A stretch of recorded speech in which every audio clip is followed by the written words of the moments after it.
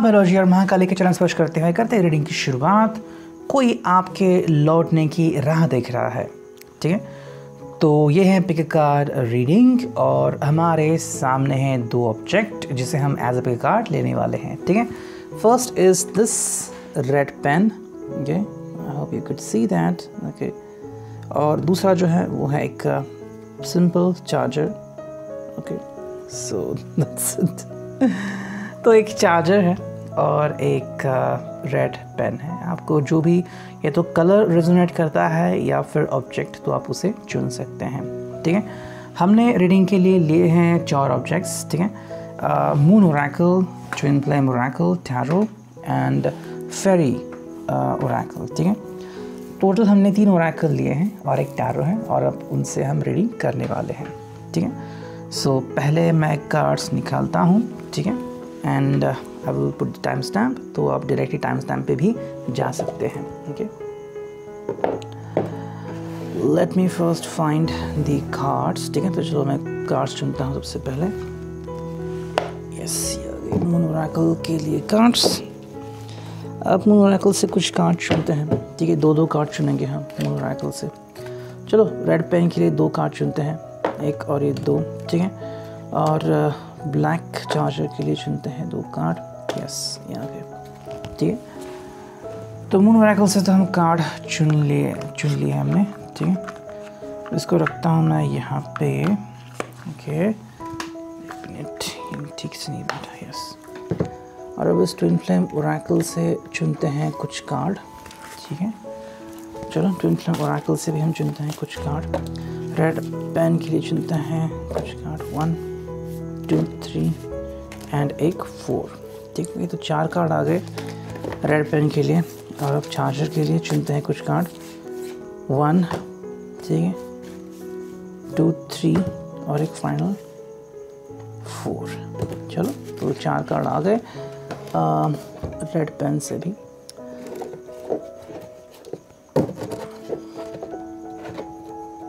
ठीक है तो मैं ऐसे रखता हूँ. Can be clearly visible. अब, चुनते हैं इससे कुछ कार्ड। चलो रेड पेन के लिए चुनते हैं कुछ टैरो दो, तीन, ये चार, पाँच ठीक और अब चार्जर के लिए चुनते हैं कुछ tarot one two three four और फाइव ठीक एंड फाइनली है फेरी ओरेकल चलो उनसे भी हम कुछ कार्ड चुनते हैं। यस चलो रेड पेन के लिए कुछ कार्ड चुनते हैं। One two three four five और अब चार्जर के लिए भी कुछ कार्ड चुनते हैं हम। वन टू ये थ्री ठीक है? अब दो कार्ड ऑप्शन है फोर और ये फाइनल आ गया, पाँच, ठीक है? तो टोटल हमने पाँच कार्ड्स चुन लिए हैं इस वेरी ओराइकल से and now we are ready to do the reading ठीक so let's connect with the objects ठीक तो मैं पहले ऑब्जेक्ट सब यहाँ पे रखता हूँ। Okay okay. ये है रिगार्डिंग दी चार्जर और ये हैं रिगार्डिंग दी रेड पेन ठीक है? सबसे पहले हम देखते हैं रेड पेन के लिए क्या रीडिंग आती है सो लेट्स करें चलो। पहला जो आ गया है यहाँ पे as you can see time है यहाँ पे पानी में। It's all about I have a balanced relationship with time I use time well moon god M N I money ठीक um, देखो यहाँ पे एक सिंपल सी बात पता चलती है कि ये पर्सन जो है वो रिलेशनशिप में बैलेंसिंग चाहता है ठीक है? अब शायद आप दोनों में कड़वाहट आई थी या फिर जो कुछ भी हुआ था मे बी आप दोनों ने बात करना बंद कर दिया था या फिर किसी कारण से आप दोनों से खफा हो गए थे ठीक है? मे बी उन्होंने आपसे झूठ बोला या फिर आपको परेशान किया ओके या फिर ऐसी कुछ हरकत की जिसकी वजह से आपको तकलीफ़ हुई। ठीक है। अब उस बात से परहेज़ करना चाहते हैं और आगे बढ़ना चाहते हैं। अब इस पर्सन को ज़िंदगी में एक बैलेंस्ड रिलेशनशिप चाहिए। तो ये समय के ऊपर ज़्यादा फोकस कर रहा है, ठीक है? जैसे हम कहते हैं ना कि समय सब सही कर देता है, वैसा ही है। कुछ समय तो शायद चला गया है, लेकिन अब इस समय के साथ वो आगे बढ़ना चाहता है, ठीक है? निशा कार्ड है यहाँ पे एज यू कैन सी ये है डिपिक्शन चाँद यहाँ पे वैक्सिंग क्रिसेंट है। I accept that here now is exactly where I am and that is a place of profound learning ठीक है? शायद इस व्यक्ति को अपने जीवन में कुछ सीखना था ठीक है? जिसका कर्मयोग था और कर्म के हिसाब से उसको आ, कुछ समझने वाला था ठीक है? तो अब ये उसको सही मोमेंटम मिल गया है। This is the exact place जहाँ पे इस पर्सन को वो मिल रहा है जिसकी उसने अभिलाषा की थी या फिर जिसने उसको यू नो जिसकी उसने कामना की थी। देखो जैसा हम बीज बोते हैं वैसा ही हमें फल मिलता है बिल्कुल वैसा ही है। अभी ये जो पर्सन है, शायद कुछ ज्ञान की बातें सीख रहा है, शायद ऋषभ के बारे में कुछ और गहराई से समझ रहा है कि भाई उसे अपनी गलती का एहसास हो रहा है। तो एग्जैक्टली exactly अभी इस वक्त इसको होना चाहिए था और यहीं पे वो बहुत कुछ सीख रहा है। मतलब अगर ये मोमेंट उसकी ज़िंदगी में नहीं आता तो शायद वो कुछ सीख नहीं पाता। तो उसे अब अपनी गलती का एहसास हो चुका है। ठीक है?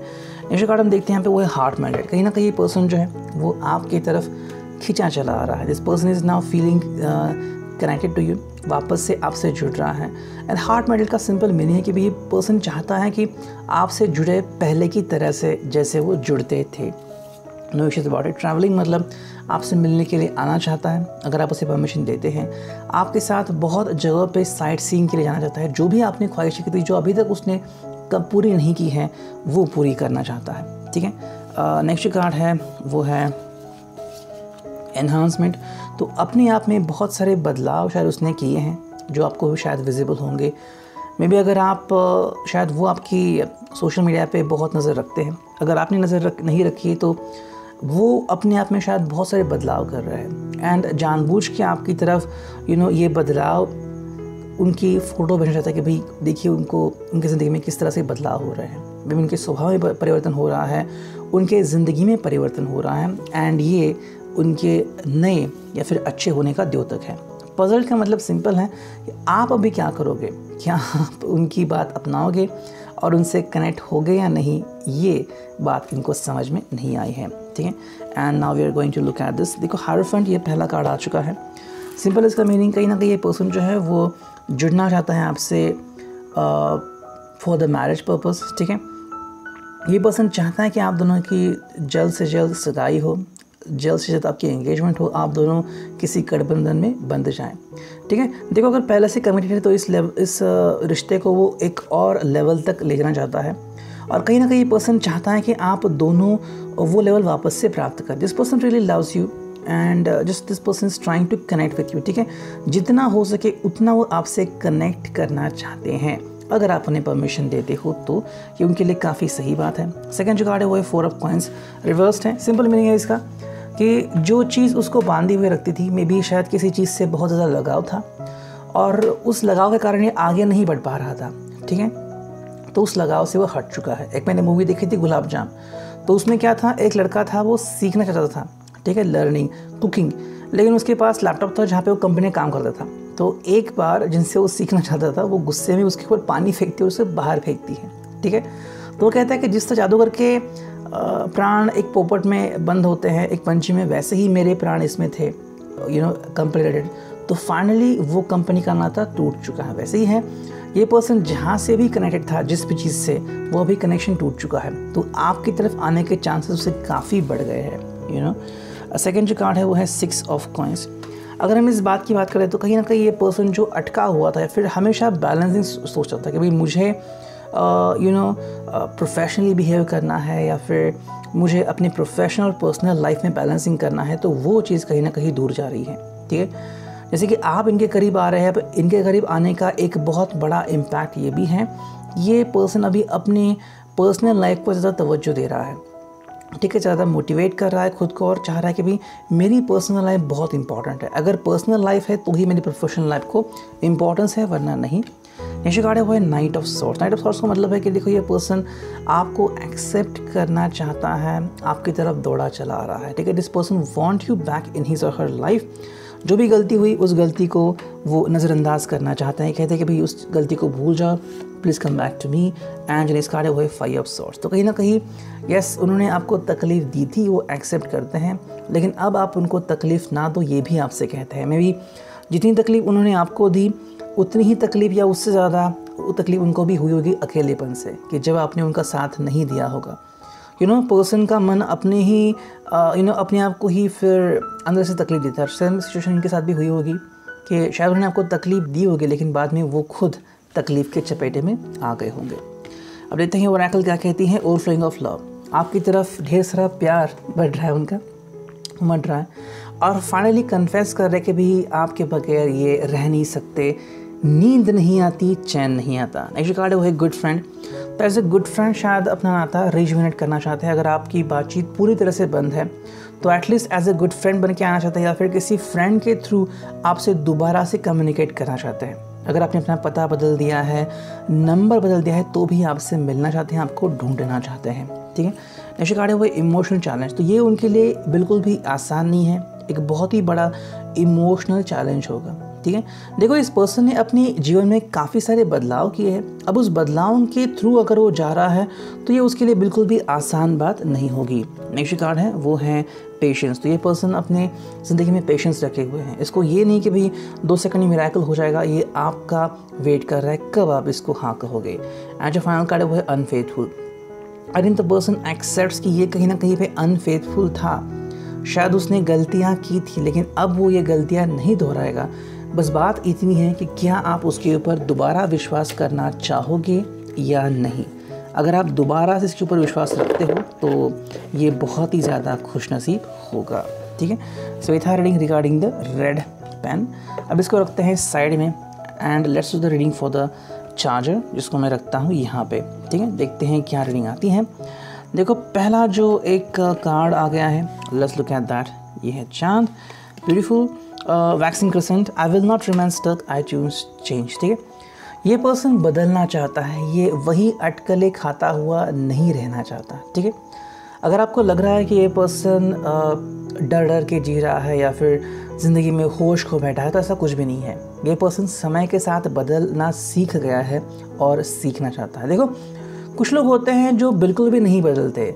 इनफैक्ट जो चीज़ हो गई है, चाहे बरसों पुरानी क्यों ना हो, उसको लेके बैठते हैं। और ये बहुत ही कॉमन बात है। 70 टू 75 परसेंट पीपल वही बात करते हैं कि भाई जो हो गया, उसको ही रिपीट करते हैं। लेकिन उससे कोई फ़ायदा नहीं होता, बल्कि नुकसान ज़्यादा होता है ओके इसलिए कहते हैं कि जब हम रोते हैं तो बहुत सारे नर्व्स यूज़ होते हैं। इसलिए, लेकिन उसके मतलब अगर हँसते हैं तो बहुत कम नर्व्स इस्तेमाल होते हैं। इसलिए कहते हैं कि रोने से अच्छा हंसना है यू नो सो यहाँ पे ये पर्सन बदलने को तैयार नहीं है। सेकेंड जो कार्ड है यहाँ पे. एज यू कैन सी ये person you know it's like a dancing going on here I can guide and lead others wisely and with love ठीक है? कहीं ना कहीं ये चाहता है कि भाई अपनी ज़िंदगी में तो बदलाव आए, लेकिन साथ में इसको ये भी लग रहा है कि शायद ये दूसरों के जीवन में बदलाव ला सकता है. ठीक है?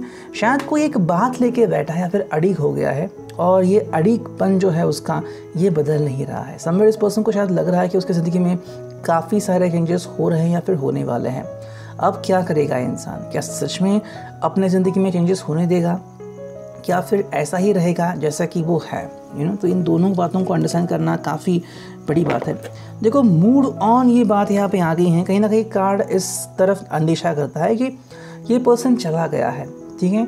मूड ऑन का सिंपल मीनिंग है कि भाई maybe you are trying to connect with this person लेकिन जिस तरह से पहले कार्ड आ गए थे मून और में और यहाँ पे भी आ गया है। ये पर्सन अपने ज़िंदगी के गोल से हट गया है। ठीक है? मूड ऑन का मतलब है कि देखो, कई बार हम किसी का वेट करते हैं, ठीक है? और बहुत पेशेंटली वेट करते हैं। लेकिन कुछ बार ऐसा होता है कि हम कहते हैं कि अब बस हो गया। आई थिंक ये उसमें से एक कोई बात है। मूड ऑन का मतलब है कि चला जाना, आगे बढ़ना, वहाँ पे मत रुकना। और मून ऑरेकल में यहाँ पे एक कार्ड आगे ही गया था जो था I will not remain stuck I choose change मतलब ये वहीं पे अटकले खाते नहीं बैठेगा यू नो ये आगे बढ़ेगा। देखो, आपने कई बार ऐसा वीडियो देखा होगा कि कुछ लोग होते हैं जो सी शोर पर चलते हैं और जैसे ही जैसे ही पानी आता है तो वो क्या करते हैं? तो यू नो भागते हैं। पानी को अपने पैर तक आने नहीं देते। तो ये क्या होता है? ये वेट करना होता है। लेकिन ये पर्सन वेट नहीं कर रहा। वो सीधा छोड़ के चला गया है। ठीक है? नेक्स्ट कार्ड है यहाँ पे, वो है रन स्लोली धीरे धीरे से वो ज़िंदगी में आगे बढ़ रहा है समवेयर आई थिंक आप उसकी तरफ़ पहुँचने की कोशिश ज़रूर कर रहे हो, लेकिन ये पर्सन अपनी ज़िंदगी में आगे बढ़ चुला, बढ़ चला है। ठीक है? And that is the most important thing देखो, आप कहीं ना कहीं इसके लिए शायद रुक गए हो, लेकिन ये पर्सन तो आगे बढ़ चला है। तो अगर आपको लग रहा है कि ये पर्सन आपके लिए रुकेगा तो ऐसा तो यहाँ पर नहीं दिख रहा है। नेक्स्ट कार्ड है why do you hurry somewhere शायद, ये भी बात इसके लिए इंपॉर्टेंट है। देखो, ये जल्दबाजी में कोई भी फैसला नहीं करने वाला। और इसलिए अगर आपको लग रहा है कि इसने आपको बताया क्यों नहीं, आपके सामने कन्फेस क्यों नहीं किया कि आगे बढ़ चला है बिकॉज़ उसको लग रहा है कि मुझे इसका कहने की ज़रूरत नहीं है। ये पर्सन जल्दबाजी में कोई भी बात नहीं करने वाला, क्योंकि जल्दबाजी जो है वो शायद इसके नसीब में नहीं है या फिर ये इसे एक्सेप्ट नहीं करता। इसके हिसाब से सभी चीज़ें धीरे धीरे होनी चाहिए, ना कि बहुत ही जल्दी फास्ट फॉरवर्ड ठीक है? नेक्स्ट कार्ड है यहाँ पे वो है इमोशनल एक्सटेसी कहीं ना कहीं ये पर्सन जो है वो किसी के साथ अटैच हो चुका है। ऐसा लग तो रहा है यहाँ पे। इमोशनल एक्सेसी का सिंपल मीनिंग है, देखो ये आपके साथ भी हो सकता है, लेकिन जो नेक्स्ट कार्ड आ गया है वो है सेक्सुअल अटेंशन ठीक है? अगर ये दोनों कार्ड का हम सिंपल मीनिंग निकाला तो ये है कि शायद आपसे भी कनेक्टेड हो सकता है, लेकिन उसके पीछे एक वाजिब वजह है। और वो वजह क्या है? सेक्शुअल अटेंशन आपको पाना चाहता है, वो भी किसी कारण के लिए। मे बी आपके पास बहुत सारा पैसा है, आपको शायद आपके पास बहुत बड़ा रुतबा है, आपका नाम है बहुत बड़ा या फिर आप सेक्शुअली बहुत अट्रैक्टिव हो and this person really miss you badly ठीक है? आई थिंक uh, जो चीज़ें आप दोनों करते हो वो शायद कोई नहीं कर सकता या फिर ये पर्सन तो अपनी ज़िंदगी में किसी और के साथ नहीं कर सकता। सो बिकॉज़ ऑफ़ दैट ये पर्सन आपकी तरफ़ खिंचा चला आ सकता है या फिर आपको बुला रहा है। या फिर अगर ऐसा नहीं है तो सिंपल मीनिंग है कि ये पर्सन किसी और में इंटरेस्टेड है और उसका सिंपल रीज़न है कि वो पर्सन शायद सेक्सुअली बहुत अट्रैक्टिव हो या फिर इस पर्सन को वो मिल रहा है जिसके कारण ये बहुत खुश हैं है ना? तो देखो ऐसी कई सारी बातें होती हैं जैसे कि मान लीजिए कि कोई एक जगह पर रह रहा है, उसको एक जगह पसंद नहीं आती तो दूसरी जगह जाते हैं, वहाँ पे वो सब मिलता है जो उसको चाहिए था। तो क्या करेगा वो? वहाँ पे रहेगा। सिंपल मीनिंग यहाँ पे हो रही है, ठीक है? नेक्स्ट हम कार्ड देखते हैं। देखो द सन यहाँ पे कार्ड आ गया है। कहीं ना कहीं ये पर्सन जो है वो ज़िंदगी में आगे बढ़ने की कोशिश कर चला है यू नो होप भी है यहाँ पे। शायद ये पर्सन आपको भी बुलाना चाहता है। Like look at the world कि मैं कैसे बदल रहा हूँ, मैं कैसे अपनी जीवन को कलर कर रहा हूँ, जैसे अपने जीवन को एक नया रंग दे रहा हूँ, एक नई दिशा दे रहा हूँ। नेक्स्ट कार्ड देखो, वो है नाइन ऑफ़ सोर्स तो यहाँ पे देखो, बातें पलट रही हैं। नाइन ऑफ़ सोर्स का सिंपल मीनिंग यहाँ पे रिवर्स आ गया है। ये पर्सन अगर आपको लग रहा है कि रो धो के काम कर रहा है मतलब देखो, अगर मान लीजिए आपने किसी को खोया, ठीक है, जिसकी अभी कोविड फ़ेज़ में बहुत सारे लोगों ने अपने आप को, अपने किसी परिजन को खोया, या फिर बहुत बड़ा हार्ट ब्रेक हुआ तो शायद कोई टूट जाएगा। ये पर्सन उसमें से नहीं है। शायद कुछ दिन तक या कुछ महीने तक टूट गया होगा, लेकिन अभी वो बिल्कुल भी टूट गया नहीं है। आपको लग सकता है लुकिंग एट दैट पर्सन जैसे कि मान लो कोई लोग होते हैं जो दाढ़ी रखते हैं, या फिर किसी का चेहरा सिर्फ़ पेल होता है। इसका मतलब ये नहीं कि वो सैड है, उनको ऐसा रहना पसंद है, और वो इसी में खुश हैं यू नो जैसे हम कहते हैं ना कि ये खुशी के आँसू हैं, वैसे हैं कि आप उनसे शायद धोखा खा सकते हो। ये पर्सन अभी उस एनर्जी में नहीं है बंदा हुआ बिल्कुल नहीं है। ये आपके बारे में ऐसा बिल्कुल फील नहीं करता कि आपके बिना इसकी ज़िंदगी अधूरी है और ज़िंदगी उजड़ गई है, ऐसे बिल्कुल नहीं लग रहा है इस पर्सन को। नेक्स्ट कार्ड है वो है सेवन ऑफ़ फॉन्ट्स तो कहीं ना कहीं अगर बात करते हैं साथ में आने की या फिर इकट्ठा आके बात करने की तो ये तो इस पर्सन के लिए मुमकिन नहीं है। ये पर्सन आगे चला गया है। ठीक है नेक्स्ट कार्ड यहाँ पे है, वो है प्रिंसेस ऑफ़ कॉइंस जो कि है रिवर्स्ड कहीं ना कहीं शायद जो इसका बेनिफिट था, वो पूरा हो चुका है। ठीक है मे बी आपसे उसने जितनी बातें की, उस उतनी बातें उसके लिए काफ़ी इंपॉर्टेंट थी या फिर काफ़ी महत्वपूर्ण थी, बस वो हो गया, अब वो चला गया। यू नो कि यू इस तरह से है कि मान लो आपको कहीं किसी दुकान से कुछ ख़रीदना है, उसी उसके लिए आप दुकान का वेट करते जैसे ही दुकान खुल गया, आपने वो चीज़ ले ली और अब चले गए। अब उस दुकान से आपका कोई वास्ता नहीं है यू नो तो बस वही बात हो रही है कि आपसे जितना काम शायद निकलवाना था, वो उसने निकलवा दिया है। एंड जो फाइनल कार्ड है, वो है सेवन ऑफ़ कप्स रिवर्स आ गया है। देखो, आपको शायद लग रहा है कि ये पर्सन जो है, वो अभी भी डे ड्रीमिंग में है, ऐसा कुछ नहीं है। ये पर्सन जान बूझ के ऐसा बिहेव कर रहा है, ठीक है? देखो, कुछ लोगों को सैडेस्ट रहना बहुत पसंद है, लेकिन ये पर्सन उसमें से नहीं है। ये पर्सन अपनी ज़िंदगी को एंजॉय करने वाला है। कई बार ऐसे रुकावटों को हम सामना करते हैं, हमें लगता है कि ये पर्सन काफ़ी अच्छा है, लेकिन असल में व्यक्ति काफ़ी अलग होता है, ठीक है? नेक्स्ट कार्ड यहाँ पे वो है चैलेंज कहीं ना कहीं आपके सामने एक चैलेंज आ रहा है, या फिर ये पर्सन अपनी ज़िंदगी में चैलेंजेस ला रहा है। इसलिए शायद आपको जो ये पर्सन लग रहा था वैसा वो नहीं है तो आपके सामने भी एक बड़ा चैलेंज आ सकता है। सेकंड जो कार्ड है वो इंटेंस लव अफेयर देखो आई थिंक अगर आप अपने आप को इनसे कनेक्ट कर सकते तो शायद ये बात यहाँ पे आ सकती है intense love affair I think ये पर्सन यही बात को लेके आगे बढ़ता है। मतलब इस पर्सन के लिए शायद वो खेल हो सकता है या फिर it's like just an intense love affair love तो है लेकिन उसके साथ अफेयर वर्ड भी जोड़ा गया है ठीक है? एंड शायद बिकॉज़ ऑफ़ दैट ये पर्सन आगे बढ़ चला है। इट्स लाइक like, uh, आप एक जॉब के लिए अप्लाई करते हो जॉब मन लगा के करते हो। किसी को लगता है कि भाई ये जॉब लड़का टिकेगा, लेकिन तब ये बैकआउट करता है, किसी और जॉब में जाता है। तो वहाँ पे टिकने वाला नहीं, उसके लिए बस ये एक जॉब है और कुछ नहीं। बस वही आई थिंक यहाँ पे कहीं ना कहीं पे हो रहा है।